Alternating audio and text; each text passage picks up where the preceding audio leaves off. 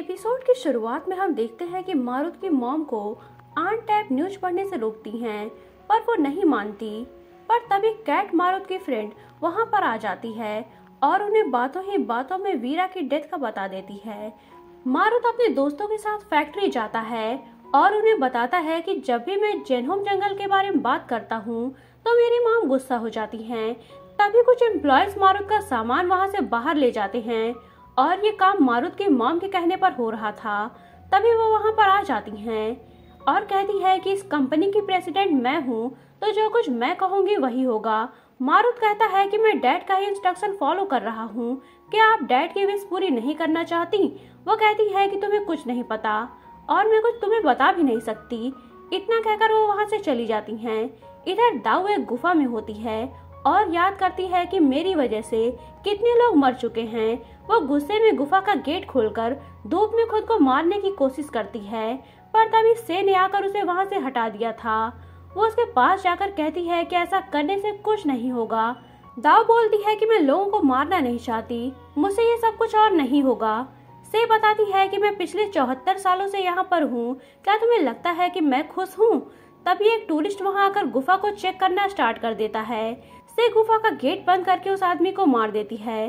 दाऊ ने उसे रोकने की कोशिश की थी, पर वो नहीं मानती। वो कहती है कि हम वैम्पायर्स ऐसा करके एक न एक दिन नॉर्मल लाइफ में वापस जा सकते हैं। तभी वहाँ यिंग पॉम के साथ आ जाती है और दाऊ को लॉक कर दिया जाता है, क्योंकि उसने दिन में गुफा का गेट खोला था। दाऊ अपनी मॉम का दिया हुआ सैंड बैग देखती है और प्रे करती है कि मुझे यहाँ से निकलकर अपनी मॉम से मिलना है। इधर मारुत अपने डैड से कहता है कि अब मैं क्या करूँ? तभी किट उसके पास आती है और कहती है कि इतनी जल्दी गिव अप नहीं करना। अगर मैं कोई हेल्प कर सकती हूँ तो मुझे बता देना। यहाँ मारुत को सोचकर मुस्कुराता है। रात को मारुत अपनी मॉम से कहता है कि अब मैं उस विलेज के जेन होम फ्लावर वाले प्रोजेक्ट को छोड़ रहा हूँ। उसकी मॉम खुश हो जाती हैं और कहती है, तब तो अब मैं फैक्ट्री बंद कर सकती हूँ। मारुत बताता है कि मैं अब से होटल वाले बिज़नेस पर फोकस करूँगा। इस पर किट कहती है कि अब इसका फोकस काम पर है। आप मेरे साथ घूमने चलो। मारुत भी हाँ में सर हिलाता है। मॉम पूछती है कि कहाँ जाना है? तो किट दो हफ्तों के लिए यूरोप जाने का प्लान बनाती है। इस पर मॉम भी एग्री हो गई थी। ये प्लानिंग मारुत की ही थी। नेक्स्ट डे वो उन्हें बाहर तक ड्रॉप करने जाता है। किट कहती है कि मुझे उम्मीद है कि दो हफ्तों में तुम्हारा मिशन पूरा हो जाएगा। मारुत उसे हक करके कहता है कि तुम ही मेरी सबसे अच्छी फ्रेंड हो।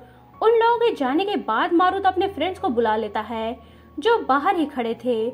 मारुत कहता है कि उसे विलेज जाकर सच का पता लगाना ही है।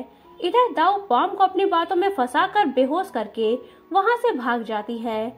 मारुत भी अपने फ्रेंड के साथ उस विलेज की ओर ही जा रहा था। इधर पॉम को जब होश आता है तो वो यिंग को दाऊ के भाग जाने का बताती है। इस पर वो भी उसे मारती है। उनकी बातें से ने भी सुन ली थी। इधर दाऊ अपनी मॉम से मिलना चाहती थी, पर वो अपने मास्टर के सील किए हुए एरिया से बाहर नहीं जा पाती। तभी से वहाँ आकर उसे रोकती है। तो दाऊ बोलती है कि मुझे अपनी मॉम से मिलना है। से कहती है कि बाहर जाने का कोई फ़ायदा नहीं होगा। तुम्हारी मॉम तो अब मर चुकी होंगी, पर दाऊ नहीं मानती। तो से उसे बेहोश कर देती है। जब उसे होश आता है तो उसके पास एक ह्यूमन की बॉडी पड़ी थी। इतनी में वहाँ मास्टर आ जाता है।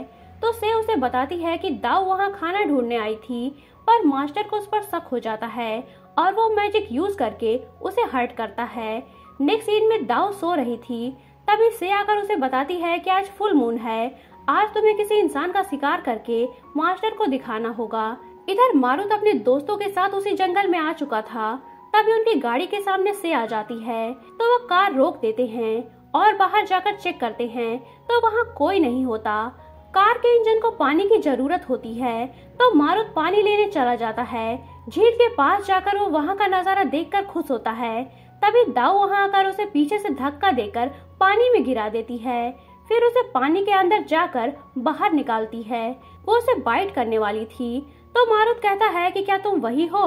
दाऊ कहती है कि क्या तुम मुझसे बात कर रहे हो? मारुत कहता है कि तुम वो नहीं हो सकती। और वहाँ से जाने लगता है।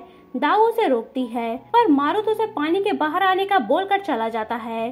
तभी दाऊ उसके पास जाती है। तो मारुत कहता है कि ये जगह खतरनाक है, तुम्हें घर वापस जाना चाहिए। दाऊ कहती है कि ह्यूमन इस जगह से ज़्यादा डेंजरस होते हैं। मारुत हंसकर कहता है कि ऐसी बातें करने से मैं तुम्हें बड़ी नहीं समझूँगा। तुम्हारी एज ट्वेंटी ईयर से ज़्यादा नहीं है। ये जो बड़ी बड़ी बातें तुम बोल रही हो, किसी मंदिर में सुनकर आई होगी।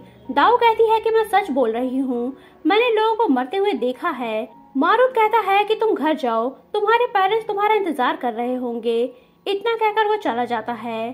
तभी से उसके पास आकर कहती है कि मैंने तुम्हारे लिए शिकार अरेंज किया था। तुमने उसे मारा क्यों नहीं? दाऊ बताती है कि वो अच्छा है, बाकी लोगों जैसा नहीं है।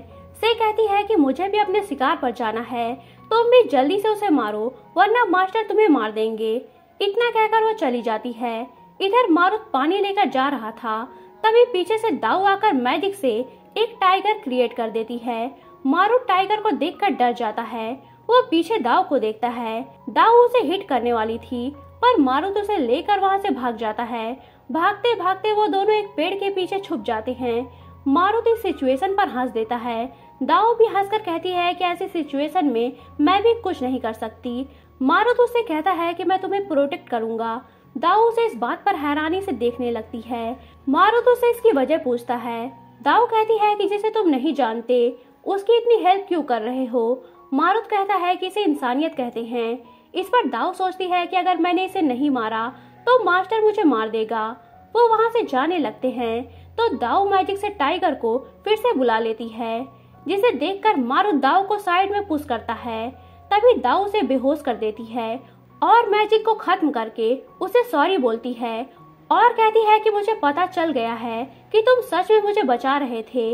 इधर मारुत को गए हुए काफ़ी देर हो चुकी थी तो पॉल और मन्नत ड्राइवर को वहीं छोड़कर उसे ढूँढने चले जाते हैं। रास्ते में मन्नत को से दिखती है, पर पॉल के देखने पर गायब हो जाती है। मन्नत कहता है कि शायद ये मेरी इमेजिनेशन होगी। उनके फ़ोन में नेटवर्क भी नहीं था। से मन्नत पर अटैक करने वाली होती है, पर किसी की आवाज़ सुनकर रुक जाती है। ये मिस्टर इन है, जो कि से के हस्बैंड हैं। इन से को देखता है तो से वहाँ से चली जाती है। पॉल और मन्नत इनके पास जाते हैं, पर वो ड्रंक था। और वहाँ से चला जाता है। इस पर वो दोनों भी मारुत को ढूँढने निकल पड़ते हैं। इसी के साथ ये पार्ट एंड होता है। तो दोस्तों, अगर आप जानना चाहते हैं कि कहानी में आगे क्या हुआ तो बने रहिए मेरे साथ। और अगर आपने अभी तक चैनल को सब्सक्राइब नहीं किया है तो चैनल को सब्सक्राइब करके बेल आइकन पर क्लिक कर लीजिए, ताकि आपको हमारे आने वाली वीडियोस की इंस्टेंट नोटिफिकेशंस मिलती रहे। तो मिलते हैं नेक्स्ट वीडियो के साथ। तब तक के लिए take care and good bye